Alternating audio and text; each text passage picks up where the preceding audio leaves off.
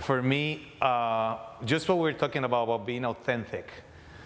Very early on, I was aware that the concept that was being formulated in my mind's eye had a way that it wanted to be expressed. And it would tell me, I want to be three-dimensional. I want to be a painting. I want to be a photograph. I would know very clearly how to express it. And I'm also very grateful for that. I didn't ask for that.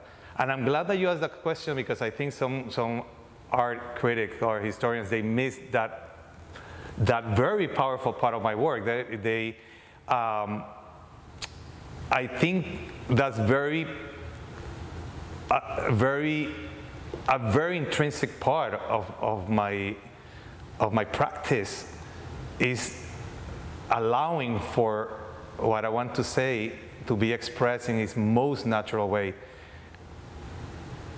It's, a, it's, it's really, it's been fascinating because sometimes there have been mediums that were not out there.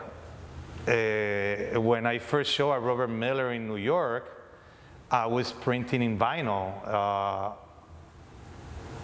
I wanted these images to have the force of a movie screen. Uh, when you go to the movies, these, these images that feel bigger than life, the force of life that is so, makes you sometimes like so nervous. And the only way I could express that was with a giant piece of fabric. And I remember seeing a billboard and thinking, oh my God, if they can print that size, this is, this is how this concept Uh, wants to be manifested. And I printed in that. Large, as, as large as these walls. I get to print that big because a friend of mine printer had a NASA scanner that no one else could use to enlarge like that. Because I mean, I, I, my work couldn't be pixelated like a billboard that you can read from afar.